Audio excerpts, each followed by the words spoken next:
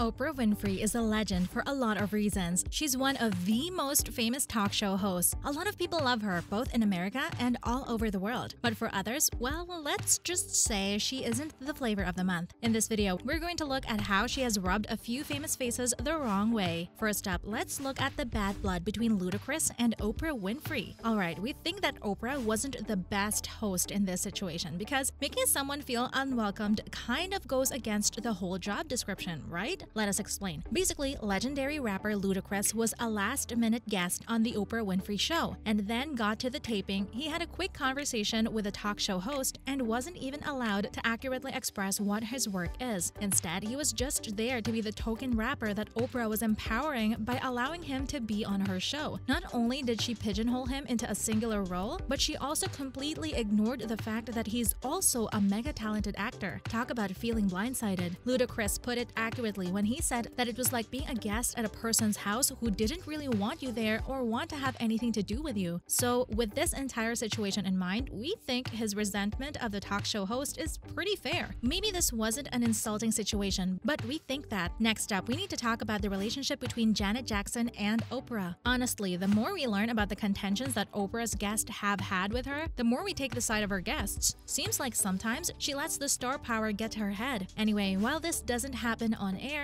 like the Ludacris debacle, it happened just before the show went live, with sources close to the show saying that there was an explosive phone call between the two superstars before the interview could begin. What was the reason for that? Well, let us explain. Janet was super mad at Oprah because she couldn't believe that Oprah had the audacity to invite her brother, Michael Jackson's children, onto the show in 2010 after their father had passed away. From Janet's perspective, this was just a dirty trick used to increase ratings, and she was furious, with sources spilling the tea on how she felt this was incredibly disrespectful to Michael's memory. While Janet Jackson gave Oprah a piece of her mind, calling her up minutes before the show was to go live, and when Oprah refused to back down, Janet screamed at her, Oprah, you make me sick. Whoa, imagine making one of the biggest names in music that mad. Up next, we need to talk about the delusions that Chris Brown has. This one is all kinds of unbelievable, but what can you expect from someone like Chris Brown? When the domestic abuse allegations came out against the rapper, like anyone with even the slightest bit of morality and ethics, Oprah dropped him like a hot potato, warning his then girlfriend Rihanna in a domestic violence special that Brown would hit her again. Of course, this annoyed Brown because he could never imagine being held accountable for his actions. So he told the news outlet People in an interview that he felt hurt by Oprah's remarks. It was like a slap in his face. Can we appreciate the irony here? He felt blindsided because he had done so so much for Oprah's charitable endeavors that he felt that she should have treated him better. Well, we just have to say that he had another thing coming if he expected to be treated nicely as a convicted abuser. When Winfrey got wind of his whining, her reps issued a statement acknowledging his efforts, but also ignoring his drama by focusing on how his actions were part of a larger structure of domestic violence, and she ethically couldn't support him anymore, hoping that he would get the professional help he needed. We're Team Oprah on this front. Now let's talk about the surprising snub from star Angelina Jolie. This wasn't a direct insult, come on. Both Jolie and Winfrey are too professional and classy for that. But in any case, it was Angelina Jolie's way of showing both the world and Winfrey what she really thought of her. Back in the early 2000s, Oprah Winfrey was launching a charitable program called the Oprah Winfrey Leadership Academy for Girls in South Africa. Sounds super cool, right?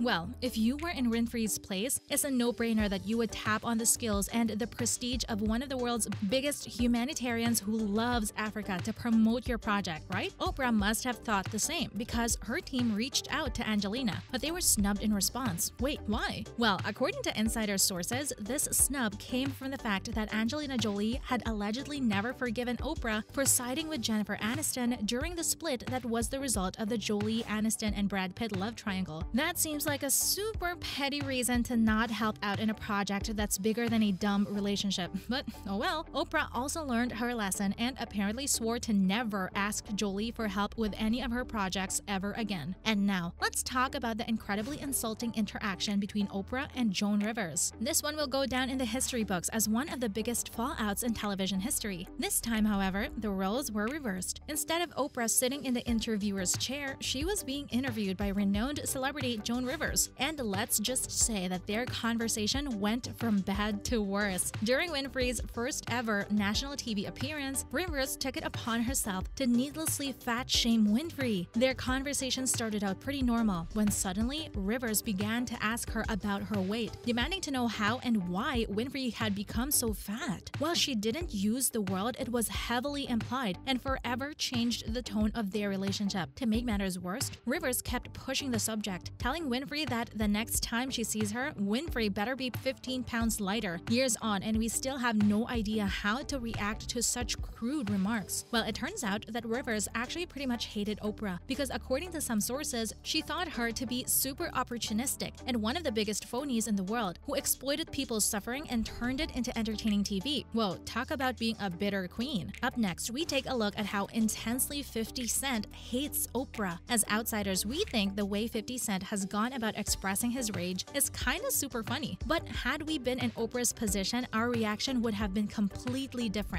Way back in 2006, the rapper called Winfrey an Oreo, complaining that she rose to fame talking about the issues and problems faced by black women in America, but slowly warped into a talk show host that existed to cater to the tastes of the middle-aged white American women. His distaste for her ran so deep that he even named his doggy, a miniature schnauzer Oprah, as an insult directed at the television personality. In 2012, things took a turn for the better because the two hashed their differences out during an interview special for Oprah's next chapter. 50 Cent explained that his bitterness stemmed from the fact that Oprah didn't give much airtime to hip hop artists and his discouragement of the use of the N word. For him, it was like she was trashing on black culture, trying to dilute it so that it would be more palatable for white America. Ultimately, they may have expressed how they feel about each other, but we think that they aren't the best of pals. And finally, we need to talk about the way Seal really feels about Oprah Winfrey. This one was a bit of a shocker for us to learn about as well. But in any case, the relationship between Seal and Oprah is a super rocky one. Remember when the Harvey Weinstein scandal came to life? Well, a lot of stars were quick to distance themselves from him, cutting their ties and disavowing their relationships in the past. And on top of that, many leading female voices in the entertainment industry used the Weinstein scandal to promote feminist thinking in Hollywood. One of these voices was the beloved Oprah, and for some, specifically Seal, her activism was super hypocritical. Seal posted a meme on his Instagram page that mocked Oprah's participation in the movement. This is because there were pictures that showed Oprah and Weinstein acting all buddy-buddy and getting cozy with each other that Winfrey didn't acknowledge. Honestly, we're disappointed, but not surprised, considering that nearly every big name in Hollywood and the entertainment industry had their finger in the Weinstein pie. We guess she should have done better. But knowing how corrupt the entertainment industry is, it's just sad to know she was just as twisted. That's a wrap for this video. Which of these Barts do you think were the worst? Did Oprah deserve all of them? Let us know in the comments below. Make sure to give this video a thumbs up and subscribe to our channel for more videos like this. See you in the next one.